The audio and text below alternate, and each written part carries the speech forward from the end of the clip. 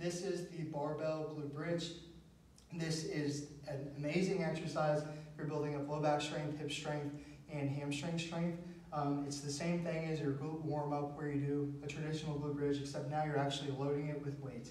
Um, now, generally speaking, you're always going to want to use like a bumper plate, which the bumper plates are all the same height. They're the same height as the 45 pound plates.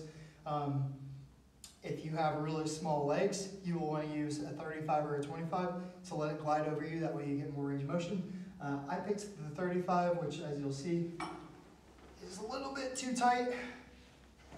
But when you do this, it should rest on the ground. Um, the more range of motion, the better. Set up your feet. When you get to the top, your legs should be at a 45 degree angle and back down.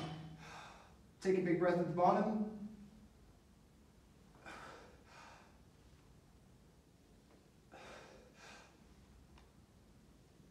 You want to hold about a second. That will also help your deadlift, uh, lockout, and your squats.